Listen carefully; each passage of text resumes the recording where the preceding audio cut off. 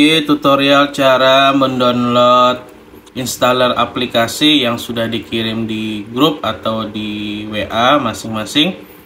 Nah, caranya itu pastikan sudah membuka WhatsApp web ya, yang ini WhatsApp web di laptop atau di komputernya. Setelah itu di sini silakan diinstal. Saya contohkan install yang installer makanan kemasan yang ini. Nah, ini. Tunggu sebentar proses download.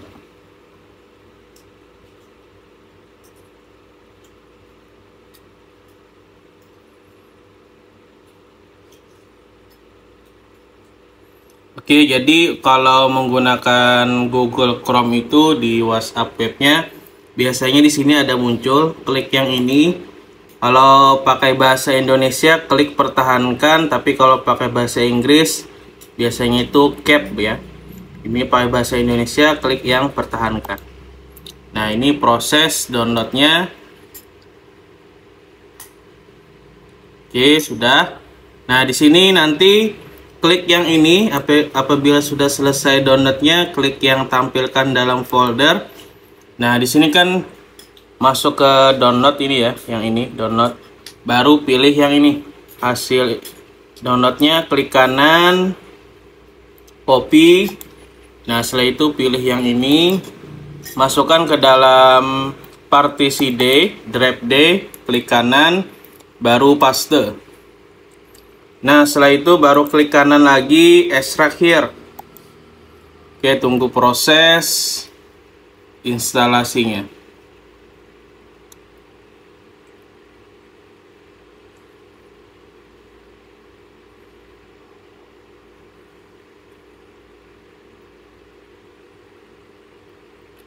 Oke sudah. Baru pilih yang folder ini. Folder makanan dan kemasan atau double klik double klik apply. Setelah itu pilih yang ini. Yang apos ya. Ini apos double klik nah di sini pilih yang ini. Di sini ada tampilan aktivasi. Maksudnya ini programnya mau digunakan aktivasinya atau startnya mau di bulan apa? Sini kan masih tahun 2023 dan di sini masih bulan Juli baru klik yang Juli. Nah oke okay. baru login aplikasinya pakai huruf ad, huruf besar ya admin. Bawahnya juga admin. Enter dua kali. Nah itu ini biasanya kalau masuk program otomatis masuk ke web Shop. Jadi ini bisa di minimize nah ini tampilan awal dari aplikasi makanan kemasan. Oke seperti itu cara instalasi dan downloadnya Setelah selesai instalasi aplikasinya, baru di sini cara mendaftarkan atau registrasikan item atau produk barangnya. Nah, caranya itu di sini. Ke daftar stock master ya. Klik daftar stock master. Nah, setelah itu baru tekan tambah. Nah, di sini kode barangnya itu kita contohkan manual aja ketiknya misalkan 001 misalkan. Enter. Nah, ini keterangannya klik OK. Baru masukkan nama produk barangnya, misalkan kemasan plastik. Nah, gini. Kemasan plastik baru jenis atau kelompoknya itu plastik. Nah, gitu baru di sini satuannya. Satuannya ini misalkan satuan yang dijualnya misalkan berapa? Di sini saya contohkan misalkan satuannya PCS ya. PCS nah setelah itu baru klik yang kode pemasoknya pilih yang unit produksi. Nah setelah itu baru isi harga modalnya. Misalkan harga modalnya itu 2000 misalkan Nah ini 2000 per pieces maksudnya untuk yang plastik Nah, setelah itu harga grosir misalkan ada jual harga grosirnya misalkan harga grosirnya 3000 misalkan. Enter. Setelah itu harga ecer pikisnya misalkan kita naikkan misalkan 4000 misalkan. Nah, di sini. Sorry, so, saya bolok kembali 4000. Oke, sudah. Nah, di sini apabila tidak ada harga grosir, boleh harga grosir ini disama, disamakan aja dengan harga ecer. Misalkan 3000 misalkan. Nah, maka otomatis di bawahnya akan kekat juga jadi 3000. Tapi kalau harga grosirnya ada, maka di harga ecernya dinaikkan menjadi 4000. Nah, seperti itu alurnya. Oke, baru simpan Nah, seperti ini cara pengisian registrasi item barang. Saya contohkan lagi satu kali untuk yang kemasan kardus ya. Tambah, klik tambah lagi. Ini 002 lanjutannya. Klik OK. Baru ini kemasan kardus. Nah, ini. Nama ini boleh di isi sesuai dengan nama produknya di sana. Misalnya ini saya contohkan kemasan kardus. Dia jenisnya batik kardus. Kelompoknya kardus misalnya. Oke. Baru satuannya samakan aja PCS. Kode pemasoknya pilih yang unit produksi. Nah, di sini harga modalnya kita naikkan karena ini kardus misalkan 2500. Enter sini harga grosirnya kita naikkan misalkan 3500 misalkan. Harga jual misalkan kita kasih 5000 nah gini. Tapi kalau mau disamakan aja dengan harga grosir dengan harga ecernya samakan misalkan 3500 nah seperti ini. Jadi kalau mau dinaikkan harga ecernya misalkan nah gini. Oke sudah Baru setelah itu simpan. Nah, seperti itu cara registrasi item produk barangnya. Oke, apabila sudah selesai baru klik exit. Oke, apabila sudah selesai pengisian item produknya sudah selesai, baru kita transaksikan beli bahan baku sama kita input juga transaksi WIP work in process artinya barang itu diproses oleh pro, oleh pro, unit produksi untuk menjadi bahan setengah jadi. Oke. Kita sini ke transaksi keuangan atau langsung aja yang ini, klik yang ini. Nah, setelah itu tekan tambah. Nah, setelah itu baru isi klik di kolom sandi ini. Kita tarik ke bawah pilih yang beli bahan baku produksi dulu. Nah, di sini kita kasih keterangannya kasih keterangannya itu misalkan beli bahan kemasan plastik. Nah, gini. Enter. Nah, di sini isi nominalnya, misalkan nominalnya kita kasih misalkan 500.000. Enter. Oke, sudah simpan. Nah, baru kita input juga ketik klik tambah. Klik tambah lagi. Nah, sini kita input yang transaksi bahan setengah jadinya.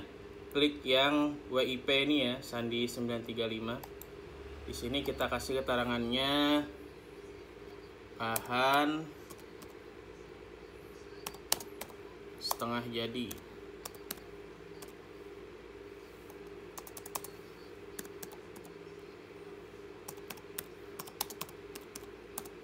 Kemasan plastik.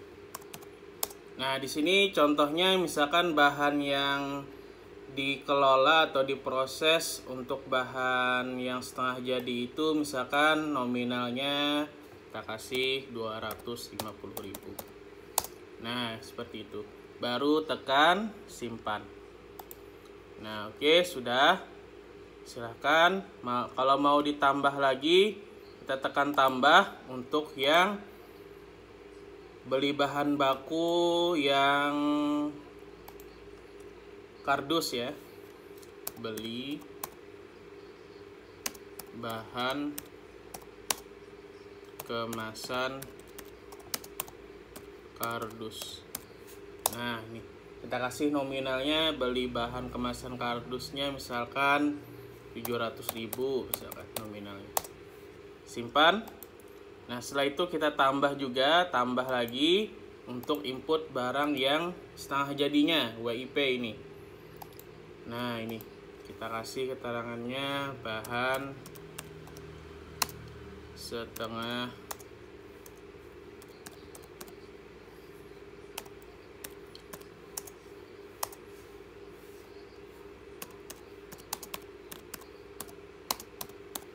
Kemasan kardus nah ini. Kalau keterangannya keterangan ini opsi ya boleh dikasih keterangannya apa aja kita kasih misalkan misalkan 500.000 misalkan. Ini bahan setengah jadinya yang diproses atau yang dikelola oleh unit produksinya. Oke simpan untuk bahan yang akan dijual misalkan. Simpan. Oke exit. Oke, seperti itu cara input transaksi bahan baku, belanja bahan baku sama barang atau input transaksi bahan setengah jadi WIP. Oke, setelah itu kita lanjut menginput barang yang sudah jadi. Artinya barang tersebut sudah siap untuk dijual menjadi stok barangnya. Caranya itu ke folder merah Nah, setelah itu klik yang ini. Klik yang unit produksi. Nah, di sini nomor fakturnya boleh kita kasih sesuaikan dengan tanggal yang diinput. Misalkan tanggal hari ini saya contohkan 27 07 2023. Enter. Nah, setelah itu yang kita masukkan ini misalkan kemasan plastik Nah, jadi yang dari unit produksi itu hasil dari unit produksi untuk yang kemasan plastiknya sudah menjadi barang bak menjadi barang persediaan yang akan dijual. Misalkan barangnya itu misalkan sudah ter sudah jadi misalkan ada 100 unit atau 100 pieces. Tekan tombol C pilih kemasan nah atau bisa ketik kemasan. Nah ini kemasan. Oke pilih yang plastik keluar enter. Nah di sini dari harga 2000 dikali 100 totalnya 200.000 nah di sini apabila mau dijadikan satu nota input juga yang kardusnya. Atau ini saya contohkan simpan aja dulu. Simpan misalkan mau beda nota simpan. Nah ini tampilannya. Kalau misalkan mau disimpan langsung ini di close. Baru kita input juga yang kardusnya. Pilih kembali yang ini. Unit produksi. Tanggalnya 07 27 maksud saya 2000 23 enter nah setelah itu untuk yang kardus itu sudah jadi untuk persediaan barang untuk dijualnya. Misalkan stoknya sudah jadi misalkan barang itu 150 nah. C pilih yang kardus atau bisa diketik di sini nanti kalau barangnya sudah banyak pilih yang kardus keluar enter Nah, di sini dari harga 20 2500 dikali 150 kuantitasnya sama dengan 375.000. Oke, langsung simpan F7. Nah, ini bentuk not notanya. Tutup. Tutup lagi. Nah, seperti itu cara input transaksi bahan yang sudah siap untuk dijual atau stok yang sudah jadi. Oke, kita lanjut cara transaksi penjualan tunai. Cara transaksi penjualan tunai yang bukan member, artinya ini orang umum aja transaksi tunai ke folder kuning, klik ini. Nah, setelah itu di kolom kode pembeli ini isi satu ya, satu, enter. Nah, setelah itu di sini jumlahnya kita kasih misalkan konsumen atau customer itu beli kemasannya misalkan du, satu lusin ya misalkan isi 12 misalkan kalau satu lusin. C kita pilih yang plastik keluar enter. Nah seperti ini. Kalau dia mau beli yang kardus juga misalkan satu lusin juga misalkan 12 ya isi 12 C pilih yang kemasan kita ketik kemasan pilih yang kardus, keluar, enter. Nah, di sini totalnya 108.000. Kalau mau dibayarkan ada kembalian, isi misalkan dia bayarnya misalkan 110.000. Nah, gini, kembaliannya 2000. Lalu setelah itu enter dua kali. Nah, seperti itu cara transaksi penjualan tunai yang bukan member. Oke, cara transaksi penjualan yang kredit, artinya yang kredit ini khusus yang member ya. Kredit kita pertama itu ke sini dulu ke daftar anggota. Kita catat atas nama siapa yang kreditnya. Tekan tambah, misalkan yang kreditnya ini atas nama Hasan Hasan. Nah di sini batas kredit penjualan ini wajib diisi ya. Khususnya ini khususnya untuk mengkontrolling controlling piutang anggota atau membernya yang kredit. Jadi misalkan kita kasih satu juta batas limitnya dia boleh kredit. Jadi misalkan piutangnya sudah lebih dari satu juta nanti otomatis di aplikasi akan ada notifikasi pada saat transaksi penjualnya apabila limit piutangnya sudah lebih satu juta. Di sini saya contohkan satu juta ya limitnya. Oke, simpan. Exit.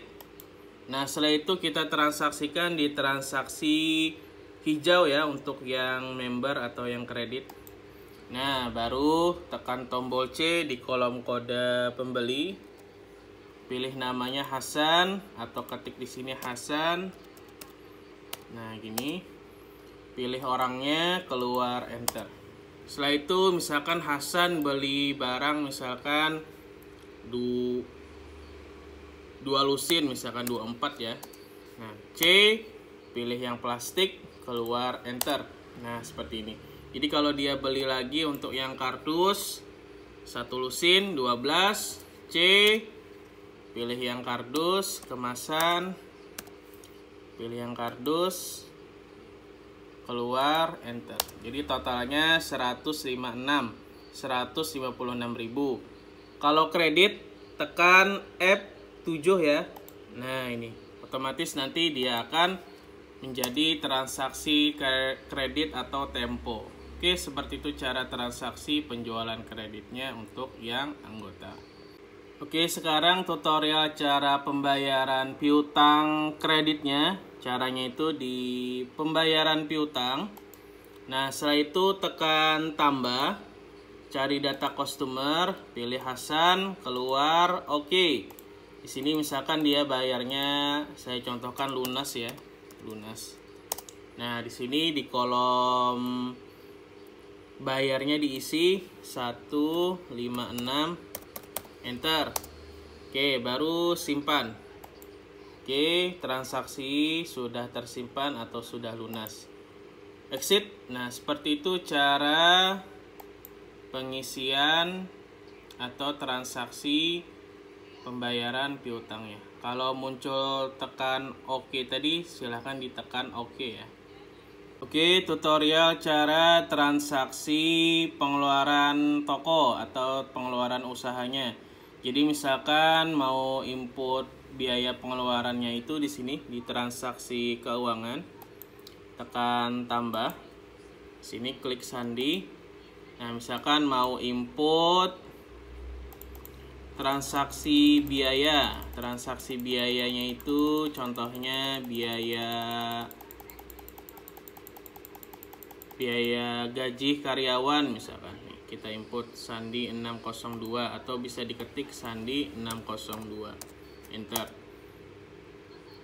Nah setelah itu kasih keterangannya biaya gaji karyawan. Bulan bulan apa kita ketik? Kita isi Juli misalnya misalkan gajinya 1.500 nah ini diisi total ya 1.500 ini untuk berapa karyawan misalkan. Baru simpan tekan tambah lagi kalau mau input biaya yang lain misalkan biaya listrik. Nah ini biaya listrik. Tagihan listrik. Nah ini sekali lagi kalau keterangan ini opsi boleh diisi apa misalnya keterangan misalkan 500.000 simpan. Kita tambah lagi misalkan biaya konsumsi. Nah ini uang makan misalkan. Uang makan. Nah uang makan ini untuk berapa karyawan? Kita kasih misalkan 100.000 nah ini. Simpan Oke, seperti itu cara transaksi biaya pengeluarannya. Oke, sekarang cara mencek laporan keuangannya. Yang pertama itu kita cek menu laporan, laporan buku besar, neraca. Nah, di sini kita pakai akun kas induk ya, kas induk. Nah, di sini 01 dari tanggal 01 sampai tanggal berjalan sekarang klik Juli Preview. Nah, ini untuk rincian kas induknya. Kas induknya seperti ini. Nah, di sini kenapa jadi minus kas induknya? Karena modal-modal untuk belanja bahannya itu belum di input. Nah, di sini saya contohkan misalkan mau input modal modalnya misalkan di sini kita tutup. Selesai. Cara input modalnya itu di sini, transaksi keuangan, tekan tambah. Di sini kita ketik sandi 923. Enter. Nah, di sini kita kasih modal usaha atau modal belanja barang, belanja bahan baku. Oke. Misalkan kita kasih 5 juta. Nah, simpan exit kita cek lagi laporan keuangannya menu laporan laporan buku besar neraca. Klik yang ini pilih yang kas induk dari 01 kita cek. 01 sampai tanggal berjalan sekarang. Klik Juli baru preview. Nah di sini jadi kan ada modal masuk nih 5 juta. Maka otomatis nanti yang minus ini akan tertutupi dari uang yang 5 juta maka sisanya akan 1 juta 700 oke ini tutup. Baru kita cek juga kas penjualannya yang ini 111 300 klik Juli tanggalnya sesuaikan juga. Klik Juli preview. Nah ini kas penjualan hasil penjualan barangnya ke konsumen. Nah ini tutup Selesai. Baru kita cek ke menu laporan, laporan keuangan. Nah, di sini ada namanya neraca saldo. Nah, ini tampilan neraca saldonya ini. Ada beberapa akun. Nah, ini ada biaya, ada persediaan bahan baku, setengah jadi sama barang jadi. Ini modalnya, pendapatan penjualan, harga pokok penjualannya, biaya listrik, biaya konsumsi, kas penjualan sama kas induk. Nah, yang ini. Tutup, baru kita klik yang neraca. Nah, ini bedanya dengan neraca saldo ini adalah neraca neraca sat neraca kelompoknya ini. Jadi kan tadi ada kas induk, kas penjualan, maka di neraca ini jadi kelompok kas. di sini ada modal tadi kita masukkan modalnya 5 juta maka kelompoknya modal oke di sini ada laba berarti di sini labanya masih masih minus. Nah kita cek di sini labanya. Nah di sini labanya minus karena banyak pengeluaran daripada pendapatan. Oke tutup. Baru kita cek juga rincian keuangannya. Nah ini rincian keuangannya nih. Nah ini rincian keuangannya. Oke selesai baru kita cek menu laporan. Kita cek laporan penjualannya yang ini. Ini kalau mau lihat laporan penjualan tunai aja pilih yang ini paling atas. Nah ini sesuaikan dengan tanggal transaksinya. Preview. Nah ini maka ini penjualan yang khusus yang cash. Nah ini cash. Tapi kalau mau lihat penjualan yang kredit aja di menu laporan laporan penjualan laporan penjualan kredit. Pilih tanggalnya sesuaikan preview. Nah ini khusus yang penjualan kreditnya aja. Nah sekarang kalau mau di jadikan satu laporan penjualan cash sama yang kreditnya bisa di menu laporan laporan penjualan laporan penjualan ini lagi. Sesuaikan dengan tanggal transaksinya preview semua penjualan toko. Nah ini penjualan kredit sama yang tunai. Nah ini ada juga namanya nih terus namanya yang kredit. Jadi kalau kredit itu di kolom namanya ada ini. Oke tutup. Keluar. Oke, setelah itu kita cek laporan piutangnya, menu laporan, laporan buku besar, laporan piutang. Nah, di sini pilih yang Hasan. Sesuaikan dengan tanggal transaksinya, pilih Juli, preview. Nah, ini mutasi penjualan kredit punya Pak Hasan. Nah, ini piutangnya sudah nol ya. Tutup. Selesai. Lalu kita cek juga menu laporan laporan customer, laporan register piutang, klik bulan berjalan, preview. Nah, ini apabila tidak bisa terbuka, berarti piutang anggotanya atau membernya itu lunas semua. Kita cek juga di menu laporan, laporan supplier. Nah, ini laporan supplier ini laporannya unit produksi. Kita cek mutasi barangnya. Nah, ini mutasinya seperti ini nih. Kurang lebih seperti ini mutasi untuk input bahan yang sudah jadi seperti ini totalnya tutup baru setelah itu terakhir cara backup harian. Backup harian ini wajib dilakukan setelah transaksi semua diinput per tanggal. Tutup aplikasinya. Oke baru yang di copy itu setiap hari yang ini. Klik kanan copy buat folder backup harian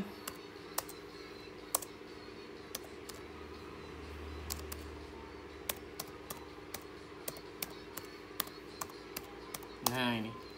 Masuk sini buat lagi folder. 27.07.2023 enter. Nah baru kita copy lagi nih. Copy yang folder apply data. Copy masukkan dalam sini sini lagi baru klik kanan paste. Tunggu proses backup. Nah backup harian ini juga wajib dilakukan di flashdisk untuk untuk keamanan data. Jadi yang di copy itu tinggal yang folder yang sudah terbackup. Oke, seperti itu cara tutorial atau demo aplikasi untuk yang kemasan makanan. Semoga bermanfaat. Assalamualaikum warahmatullahi wabarakatuh.